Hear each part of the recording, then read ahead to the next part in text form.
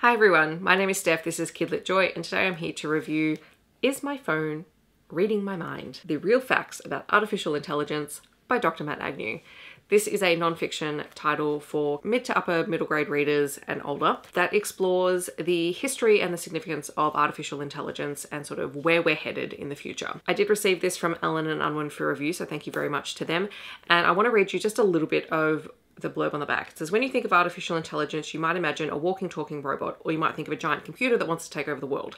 But the reality is that AI is a brilliant human invention found in nearly every modern device, from our computers to our cars. Working out where we use AI and why is an important part of making the best of this exciting technology. And I think it, this is a really interesting one because it does help to reframe sort of your thinking about AI and artificial intelligence in general, because there are so many different ways that we have been using AI for years and years that you probably don't even consider artificial intelligence. And what I loved so much about this book, one, it's very easy to read. It's a great book to read. The writing style is fantastic. I have read Matt Agnew's work before. He is an Australian scientist.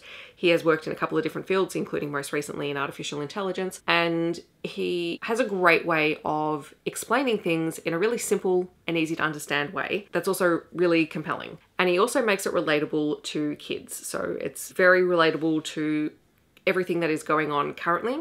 And it starts off with a history of what artificial intelligence is. We also have to define what artificial intelligence even means and what that looks like and how it's evolved over time. And then we also explore the ethics of artificial intelligence through here and why, yes, it can be used for negative purposes, but how artificial intelligence is really something that we are currently in charge of and we have to learn how to manage that and how to not create implicit biases in artificial intelligence moving forward because we have done that in the past.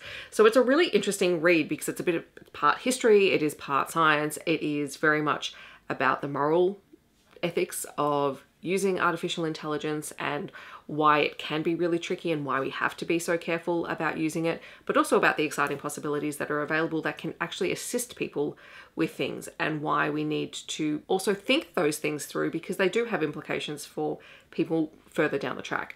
So it's a really, really interesting read. And as someone who has spent a lot of time thinking about artificial intelligence, how it impacts schooling and how it also impacts creative fields, because it, it can have quite a negative impact on creative fields as well, which uh, creative fields like artists and, and authors and things like that, there still needs to be context around it because, you know, we have been using artificial intelligence for years and perhaps we just don't think about it. And we really do need to. Like it's just something that we need to be aware of and we need to think through and to be mindful of and to consider the implications of. So I, I found it really great and really interesting to read. And I certainly have some things that I now want to go and read more about, which is always, always a highlight of a children's nonfiction book where you get enough information but also you know are inspired to read more. I also really liked the layout of it. It's really easy to read. Key vocabulary is highlighted. You have extra boxes with additional information that supports the main text. Lots of diagrams that can help. Definitions for really important key terms that you need to understand in order to understand the rest of what the text is saying. So it's broken down in a great way and at the start of the book there is a breakdown of how each page is laid out and how you can follow and find the information that you need. So yes, I really enjoyed this one. I am continuing to enjoy Matt Agnew's children's nonfiction work because it is really interesting and very engaging. And I think it's a great way to dip your toe into an area that you maybe don't have all that much knowledge on. So thank you again to the publisher for sending me the review title. I will leave links to where you can find out more information about the book and the author down below. If you've read the book or if you have read similar titles, feel free to leave recommendations down below. Otherwise, feel free to leave any kind of technology emoji to let me know that you're here. I hope that wherever around the world you're staying safe and healthy, and I will see you in my next video. Thanks so much for watching. Bye, everyone.